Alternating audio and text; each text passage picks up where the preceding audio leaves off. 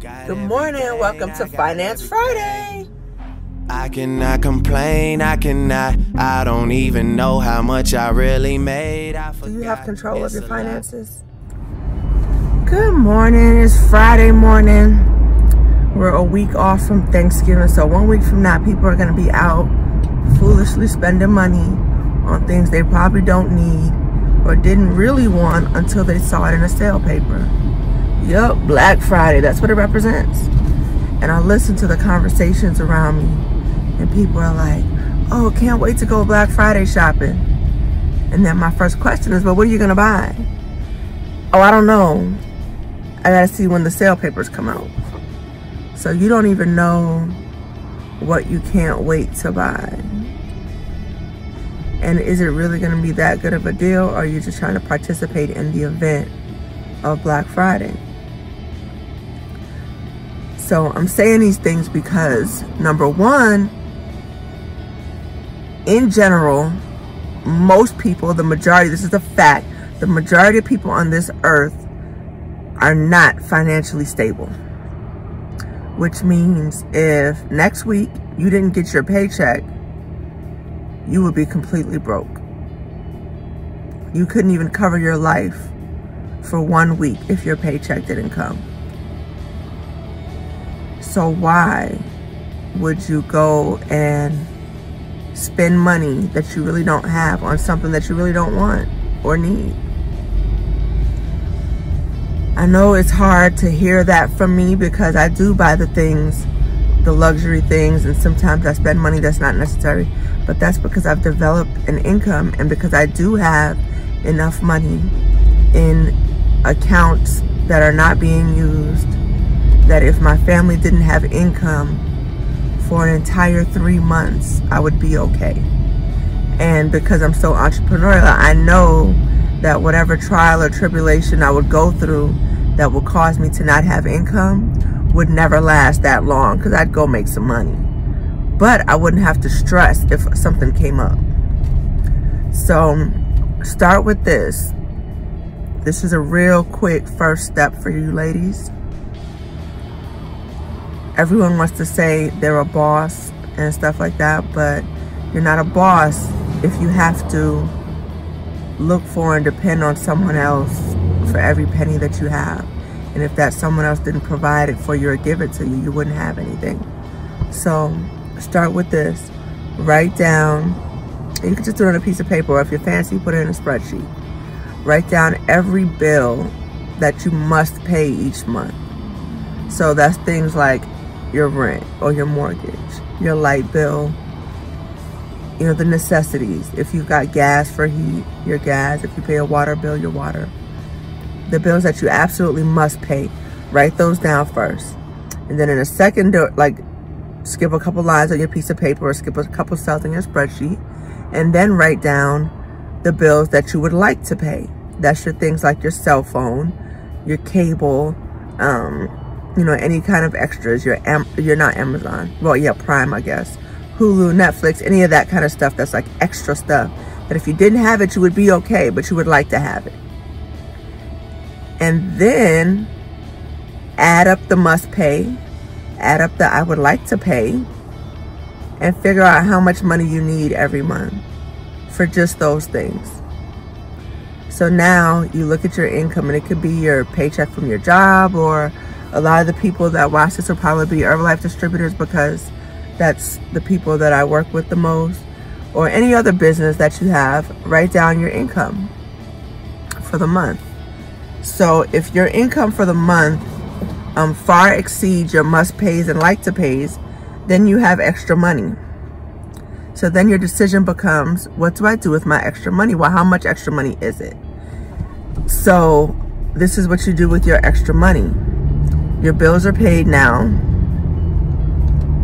Your must pays and your like to pays. And you've got extra money. Take your extra money and do a little bit of math 50% of your extra money is going to be money that you can spend frivolously. Like, I want to go to the movies. I feel like stopping for some fast food. That's 50% of your extra money. The other 50% of your extra money should go into a savings or investment account. Me, I've got three.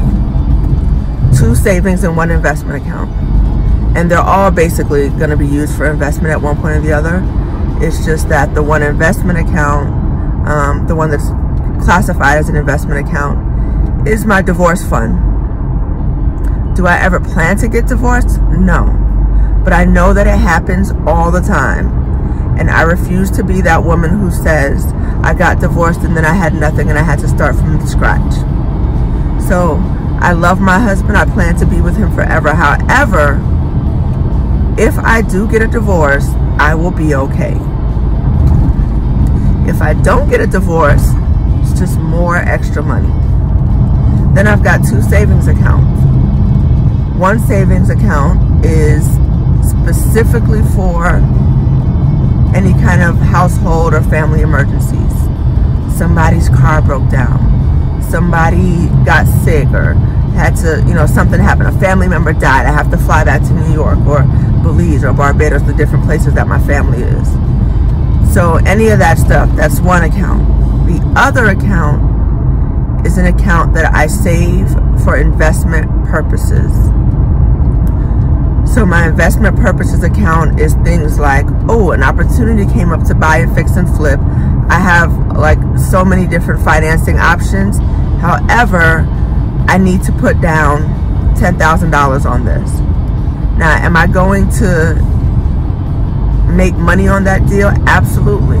So what I'm going to do is take the money from my other savings account, put it into my fix and flip account, or uh, you know put it down as a down payment for that financing flip that house and when I get that house I'm gonna put back the 10,000 right away right?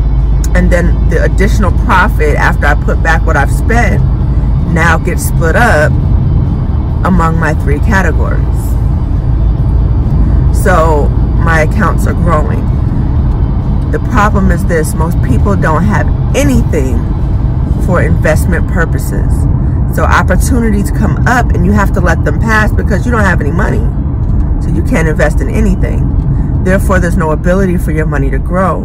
Therefore, you keep that same cycle of get your paycheck, spend it all, and wait for the next one. So, ladies or gentlemen, whoever's watching, start with that list. Do the steps that I've outlined here. And it doesn't matter Listen, if you're 50% of your expendable income, the money after your must pays and would like to pay bills, if 50% of that that you're able to split up for savings and investment purposes is only $50, that's okay. The fact is you're doing something as opposed to the nothing that you were doing before. The other part of it is if your must pays and would like to pays are more than your income from your job or your whatever your different income sources are. Now you're aware of a deficit that you have and you have the ability to work towards covering that and creating some expendable income for yourself. So my choice, our choice to do that was Herbalife and it became something that's provided more than enough income for us. And so we're able to save and invest more. So if you're interested in checking that out, let me know. We have a quick three-day trial method. $25 will let you know and help you figure out whether you can do this or if it's not really for you. It's a small amount to find out if you can create for yourself some expendable income and change your lifestyle for yourself and then for your children. Peace out, y'all.